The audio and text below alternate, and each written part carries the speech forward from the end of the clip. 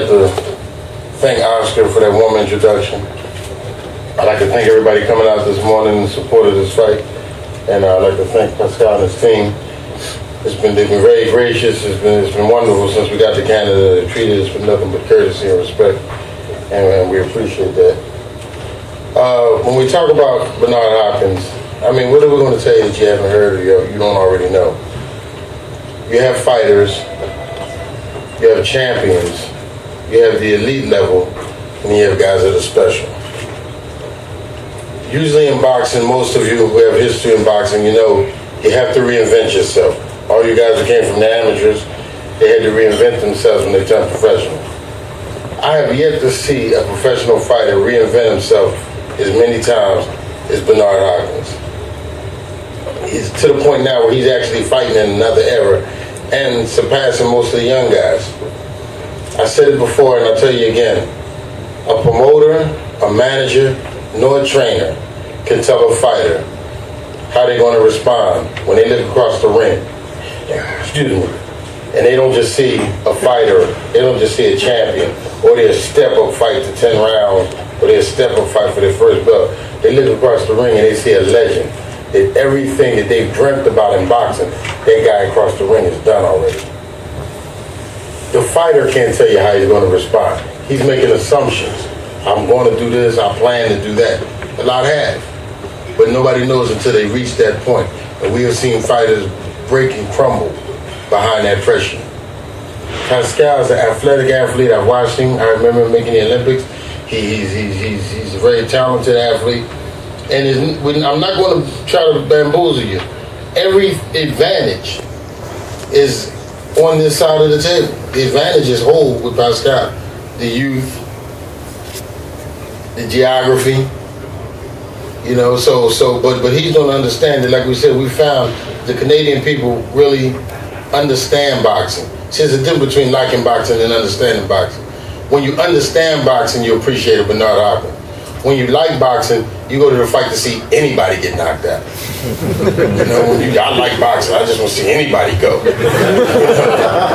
but when you understand boxing, you appreciate the small things you see Bernard doing when he's putting, when he's trapping you with his feet, when he's maneuvering you with his hips. These are the small things that I've seen champions not even develop. And they, they won belts and they still haven't developed those kind of maneuvers. You know, I hear people say that he's been, I've heard a lot of people say he's a dirty fighter. But what we happen to see a lot of times with the media, you've seen, you, you watch the television about, and the commentators tell you what you're watching. Mm-hmm. They tell me, oh, yeah, he comes back with the right hand, and he, that didn't land. You know, but this is what happened. The commentators have said dirty boxer so much that now everybody's bought onto it. I challenge people, show me the fight where you saying this was dirty or that was dirty. You know, what you're seeing is you're seeing a crafty veteran who's not going in for the excitement and just running out trying to show, throw up a three pointer. He's willing to work the defense and put the ball down in the lane.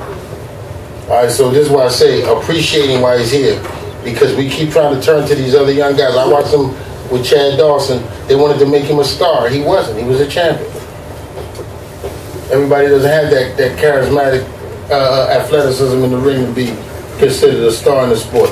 We're going to miss these guys. Two of these guys sit up here, what they've done for boxing, every one of us is sitting in our living room and hooting hollering knocking popcorn over watching these guys. Okay, so this is an era that you have to appreciate. And like Mr. Michel said earlier, you're going to tell your kids and your grandkids, I was there. When they see the posters, I was there. But we appreciate this young man uh, putting that challenge forward, and, and, and we accept it wholeheartedly. And we appreciate you good people coming out to support us.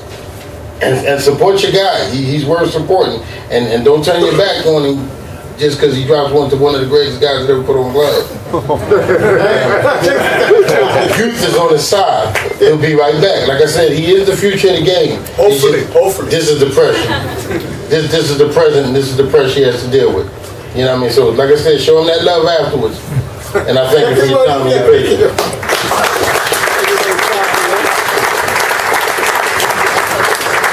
Thank you very much. So for this fight, December uh, 18, uh, once again, Bernard Hopkins will make history.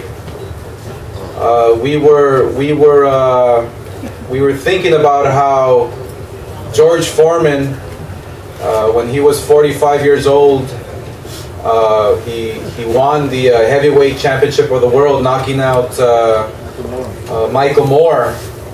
And uh, so December 18th, uh, Hopkins has that opportunity to beat uh, uh, George Foreman by a couple of weeks. So this is a tremendous motivation for a man who uh, really doesn't need motivation because that's what he's all about, is motivation and, and making history. So without any further ado, I would like to introduce to you with a record of 51 and 5 from Philadelphia, Pennsylvania, Bernard Hopkins.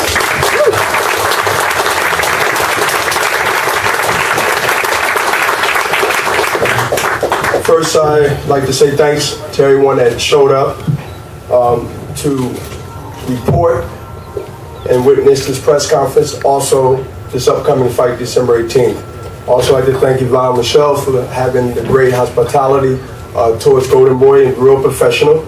Um, I know what side he's on, but he still is professional to give both um, my side, rather, uh, the respect that I've earned over the years.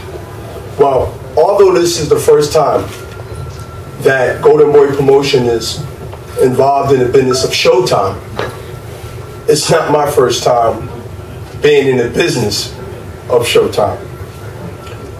I won my first world championship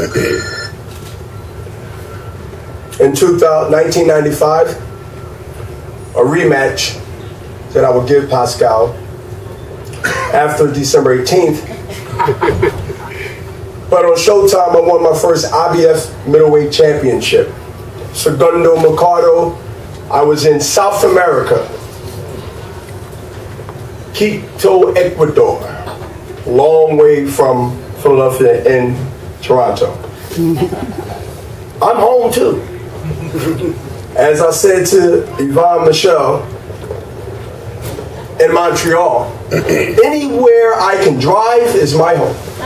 and I can drive to Toronto.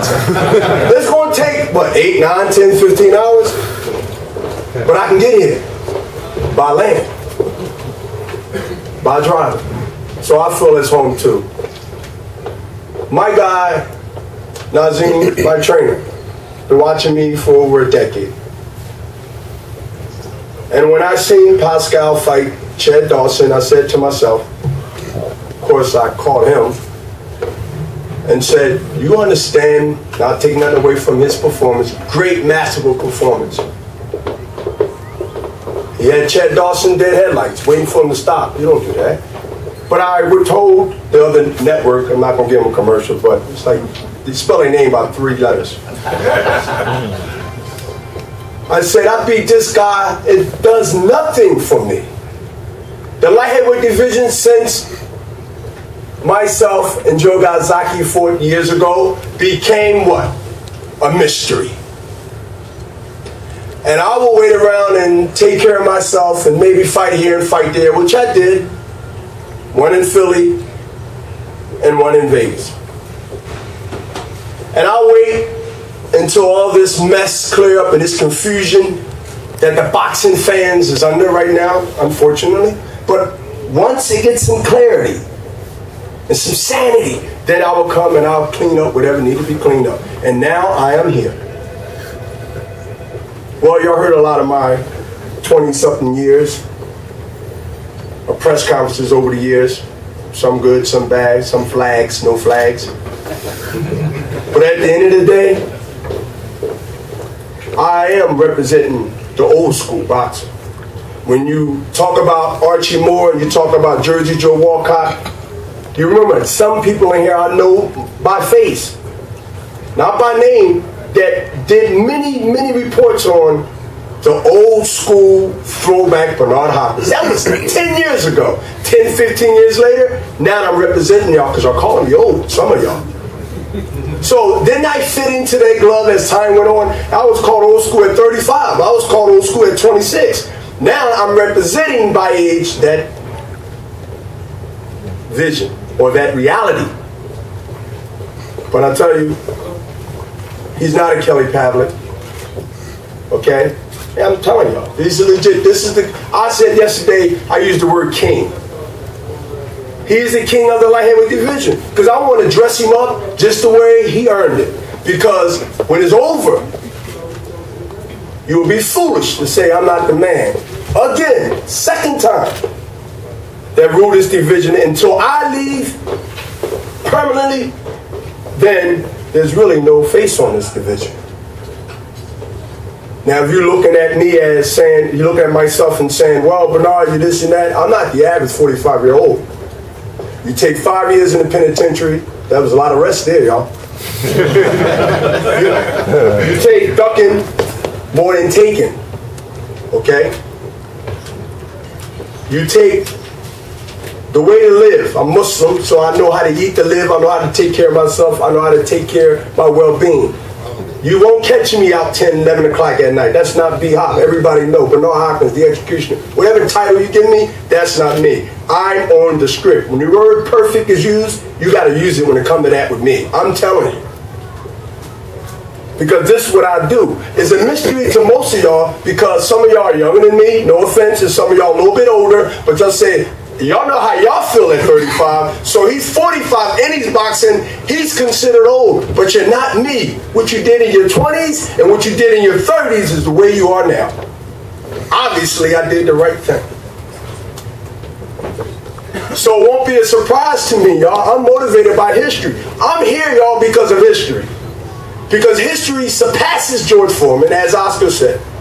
History puts Bernard Hopkins now not only as a stamp or approval of a legend, not only as a stamp or approval of a Hall of Famer first ballot, but what about an icon? Thank you.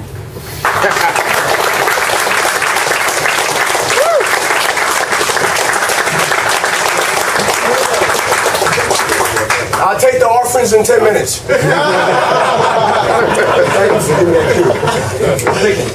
It's been, you know, the third time in two days that I've heard uh, Bernard's speech. It's different each time, telling you. And it's more, as, more and it's as interesting each time.